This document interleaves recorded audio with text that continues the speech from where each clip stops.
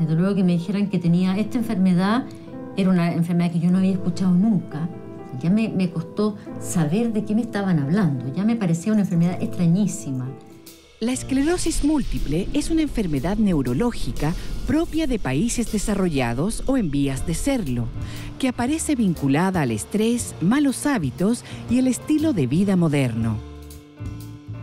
Alguien en su infancia o en su juventud tiene contacto con el virus.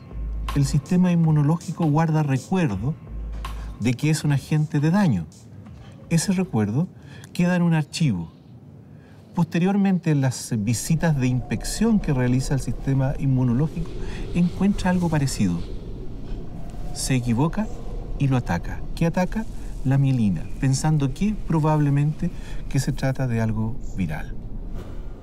Se estima que más de 2 millones de personas en el mundo la padecen y solo en Chile afecta a más de 2.300, en su mayoría mujeres.